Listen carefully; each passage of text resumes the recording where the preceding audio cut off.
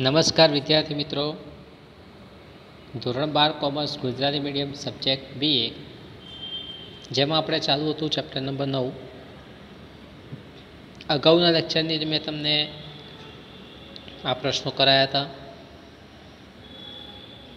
સંગઠિત નાણાં બજાર, અસંગઠિત નાણાં બજાર, ટ્રેઝરી બિલ તથા કોમર્શિયલ બિલ પર નોંધ. હાલમાં આપણે જોવાનું છે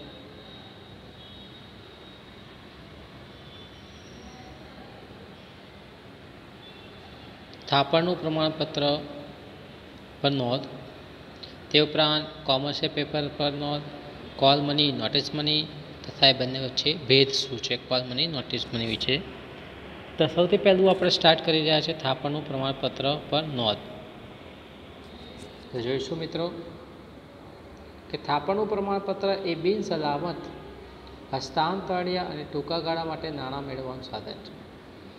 ટૂંકા ગાળા માટે એટલે એક વર્ષ કે ઓછા સમય માટે નાણાં જોઈએ તો થાપણનું પ્રમાણપત્ર તમે બહાર પાડી શકો છો.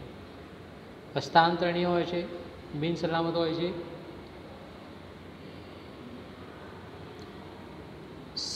તે શિડ્યુલ વેપારી બેન્કો અને નાણાકીય સંસ્થાઓ બહાર પાડે છે. કોણ કોણ બહાર પાડે જે શિડ્યુલ બેંક હોય તે વેપારી બેંક આપણે તમે. તથા નાણાકીય સંસ્થાઓ જે હોય છે, તે આ બિલ બહાર પાડી શકે છે. શેડ્યુલ વેપારી બેંકોને તેની જરૂરિયાત મુજબ કેટલીક શરતોને આધીન રહીને બહાર પાડવાની શક્યતા હોય છે. જેટલી જરૂર હોય એ પણ કેટલાક નિયમો પ્રમાણે, રૂલ્સ એન્ડ રેગ્યુલેશન પ્રમાણે એ બહાર પાડી શકે છે.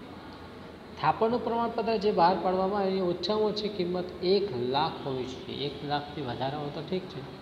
પણ ઓછામાં ઓછી થાપણના પ્રમાણપત્રની કિંમત કેટલી હોવી જોઈએ? એક લાખ રૂપિયા હોવી અનિવાર્ય છે. બરાબર? કેવા સમય માટે બહાર પાડીએ છીએ ટૂંકા ગાળા માટે. બરાબર? કોણ બહાર પાડે છે? તો કે શેડ્યુલ વેપારી બેંક, જરૂરિયાત હોય પ્રમાણે બહાર પાડી શકે છે. તે ઉપરાંત આગળ આપણે જોઈએ તો બેંકમાં મૂકેલી બાધી મુદતની થાપણની રસીદ, મતલબ કે ફિક્સ ડિપોઝિટ એફડી તમે કરાવો છો તે. અને થાપણનું પ્રમાણપત્ર બંને એકબીજાથી તદ્દન અલગ છે. બંને જુદા જુદા હોય એમ કહેવા માગે છે. એટલે આપણે બેંકમાં છે એફડી ખોલાવવામાં આવતી હોય છે. Fix deposit. એનાથી આ વસ્તુ આખી અલગ કહેવામાં આવી રહી છે. તે ઉપરાંત થાપણનું પ્રમાણપત્ર હસ્તાંતરણી અને વેચી શકાય છે. તમે કોઈને આપવું તો આપી શકો. તમે કોઈને સોંપવું તો સોંપી શકો છો. જ્યારે બાધી મુદતે થાપણી હસ્તાંતરણીય નથી, વેચી શકાતી નથી. મેઇન ડિફરન્સ આ રહ્યો. તમે એફડી કરાવો ને એફડી. તો એફડી તમારી પાસે રાખો. બીજાને કોઈને આપી શકતા નથી. જ્યાં થાપણનું પ્રમાણપત્ર તમે વેચી શકો છો. હસ્તાંતરણ કરી એટલે બંને વચ્ચે તફાવત તો છે. ફરી જોઈએ. થાપણનું પ્રમાણપત્ર એ બિન સલામત હસ્તાંતરની અને ટૂંકા ગાળા માટેનું નાણાં મેળવવાનું સાધન કહેવાય છે. તે કોણ બહાર પાડે તો વેપારી શેડ્યુલ બેંક તથા નાણાકીય સંસ્થાઓ બહાર પાડે જ્યારે એમને નાણાંની જરૂર હોય. ટૂંકા ગાળા માટે કેટલીક શરતોને આધીન રહીને બહાર પાડે છે. કિંમત કેટલી તો ઓછા ઓછા એક લાખ રૂપિયા. એફડી અને બાધી જે આપણે કહીએ ફાઇવ ફિક્સ ડિપોઝિટ એટલે કે બાધી મુદ્દાથી થાપણ અને થાપણું પ્રમાણપત્ર બંને જુદા જુદા છે, બંને એક નથી. કારણ કે એફડી છે, તમે ફિક્સ ડિપોઝિટ ખોલાવો બાધી થાપણ. તમે એ કોઈને સોંપી ના શકો, તમે વેચી પણ ના શકો. જ્યારે થાપણનું પ્રમાણપત્ર તમે હસ્તાંતરીય વેચી શકો છો, જ્યારે જરૂર છે ત્યારે કોઈને આપી પણ શકો છો. બીજો ટોપિક આપણે આવી રહ્યો છે કોમર્શિયલ પેપર પર નોંધ કોમર્શિયલ પેપર શું છે? તે આપણે જોઈશું. તો કોમર્સ પેપર વિશ્વના ઓગણીસો એંસી પછી ખૂબ જ લોકપ્રિય બન્યા હતા. ક્યારે બન્યા હતા? નાઇન્ટીન એટી પછી. ઓગણીસો એંસી પછી એ જાણીતા થયા, લોકપ્રિય થવા લાગ્યા. આરબીઆઈ એટલે રિઝર્વ બેંક ઓફ ઇન્ડિયાએ એક જાન્યુઆરી ઓગણીસો ને નેવુંમાં કોમર્શિયલ પેપર બહાર પાડ્યા હતા.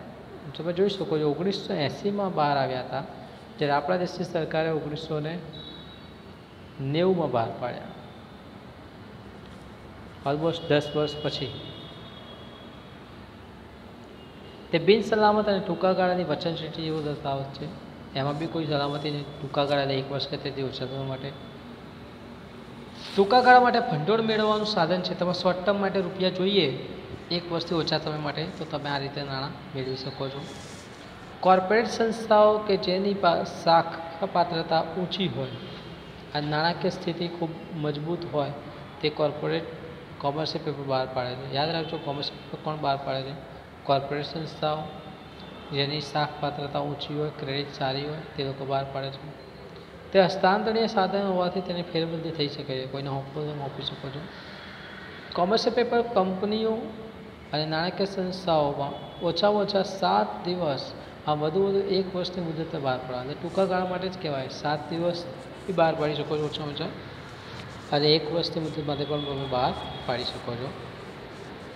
તે રૂપિયા પાંચ લાખ અને ગુણાંકમાં, પાંચ લાખ ગુણાંકમાં વટાવથી બહાર પાડવામાં આવતા હોય છે. એટલે ઉપર વટાવ મળતો હોય છે.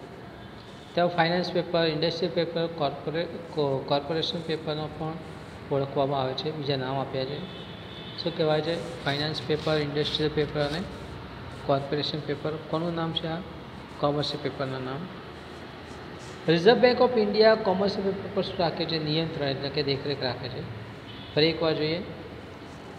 સૌથી વધારે લોકપ્રિય ક્યારે બન્યા? લોકો જાણીતા ક્યારે બન્યા? ઓગણીસો એંસી ભારત સરકારે આરબીઆઈ ઓગણીસો નેવુંમાં બહાર પાડ્યા. બિનસલામત છે, ટૂંકા ગાળા માટે છે. ટૂંકા ગાળામાં મેળવવામાં આવતું ભંડોળનું એક સાધન છે. કોર્પોરેટ સંસ્થાઓ કે જેને શાકપાત્રતા ઊંચી હોય તે લોકો શું કરે છે? બહાર પાડતા હોય છે. હસ્તાંતરની સાધન હોવાથી ફેરબદલી કરી શકાય છે. તમે કોઈને હોંપવા તો હોંપી શકો છો. કોમર્શિયલ પેપર એ નાણાકીય સંસ્થાઓ ઓછા ઓછા સાત દિવસમાં વધુ વધુ એક વર્ષ માટે બહાર પાડે. ટૂંકા ગાળા માટે કહેવાય. પાંચ લાખ અને તેના ગુણાંકમાં વટાવથી તમે બહાર પાડી શકો છો. ફાઇનાન્સ પેપર બી કહેવાય ને ઇન્ડસ્ટ્રીયલ પેપર બી કહેવાય, કોર્પોરેશન પેપર પણ કહેવાય. આરબીઆઈ એટલે કે reserve of India corporation paper પર શું રાખે છે? નિયંત્રણ કે દેખરેખ. એના પછીનો ટોપિક છે કોલ બની અને નોટિસ મની વિશે સમજાવો. આ જ વસ્તુ તમે કોલ બની અગિયારમા ધોરણમાં બી ભણી ગયા છો. તો હાલમાં આપણે થોડું વધારે માહિતી મળશે. કે રિઝર્વ બેંકના નિયમ મુજબ વેપારી બેંકોને ઓછામાં ઓછી રકમ રોકડ સિલક જાળવવી પડે છે. બેંક છે આગળ ઇન્વેસ્ટ કરે છે રૂપિયા. જરૂરિયાતમંદ લોકોને રાખે છે તો બધાના આપી દેવાય બેંકવાળાએ. બેંકવાળે થોડી રકમ રોકડ સ્વરૂપે શું રાખવી પડે છે? અનામતમાં રાખવી પડે છે. જેને રોકડ અનામત કહે છે. શું કહે છે? રિઝર્વ બેંક ઓફ ઇન્ડિયાના નિયમ મુજબ વેપારી બેંકોએ ઓછામાં ઓછી રકમ રોકડ શિલ્લક જાળવવી પડે છે. જેને શું કહેવામાં આવશે? રોકડ અનામત કહે છે. આવી ઓછામાં ઓછી રોકડ શિલ્લક જાળવવી એટલે કે એક બેંક બીજી બેંક પાસે ઓછી નાણાં લઈ શકે છે. જાળવ્યા હોય તો લઈ શકાય ને? હોય જ નહીં તો કઈ રીતે લઈ શકાય? એના પછી બધી જ બેન્કોએ રોકડ અનામતનું પ્રમાણ જાળવવું પડે છે. આરબીઆઈએ કીધું એટલે બધા બેન્કો એનું નિયમનું પાલન કરવું પડશે. જેમ કે બેંકમાં સો રૂપિયા આવ્યા હોય તો સોએ સો ઇન્વેસ્ટ ના થાય. એંસી કે સિત્તેર રૂપિયા ઇન્વેસ્ટ એટલે બાકીના વીસ ત્રીસ ટકા શું થાય? ફિક્સ મૂકી રાખવા પડે. ગમે ત્યાં પેલું લેવા આવે. નાણાકીય, એટલે કે બધી જ બેન્કોએ રોકડ અનામત જાળવવું પડે છે. આના કારણે કોલ મની માર્કેટ નાણાં બજારનું મહત્ત્વનું ઘટક બની ગયું છે. કોલ મની માર્કેટમાં કોલ મની અને નોટિસ મની બંનેનો સમાવેશ થાય છે. કોલ મની નોટિસ મનીમાં કોઈ તારણો આપવાનું હોતું નથી. મતલબ કોઈ ગીરવે મૂકવાનું રહેતું નથી. હવે બંને વચ્ચે ભેદ શું છે? જો ભેદ એટલે કે તફાવતની વાતચીત કરીએ? ખૂબ જ ઝેરી ખબર પડી જાય છે કે કોલ મની એક જ દિવસ માટેનો વ્યવહાર છે. તમે જોઈ શકો છો. શું લખ્યું છે? કોલ મની એક જ દિવસનો વ્યવહાર છે. કોલ મની એટલે કે એક જ દિવસ માટેની લોન. તમે વન ડે એક દિવસ માટે લોન લો કોલ મની કહેવાય. જ્યારે બેથી ચૌદ દિવસ માટે તમે નાણાં ઉછીને લેતા હો, તો એ શું થઈ જશે?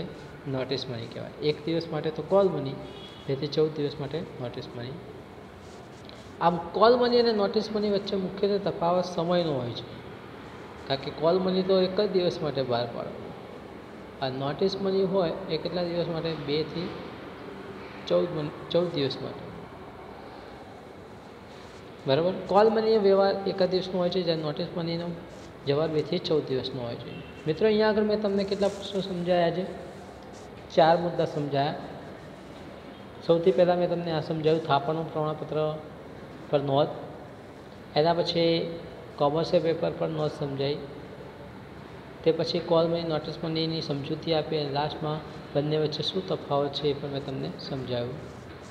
તો મિત્રો અહીંયા આગળ આ લેક્ચર આપણે પૂરો થઈ રહ્યો છે. આશા રાખું છું તમને બધાના ખ્યાલ આવી ગયો છે તો આ જ વસ્તુ તમે વારંવાર પુનરાવર્તિત કરજો. જ્યારે પીડીએફ મળે છે એની અંદરથી આપણે લખી દઈએ સારા અક્ષરે. જેથી વધુ ખ્યાલ આવશે. Thank you very much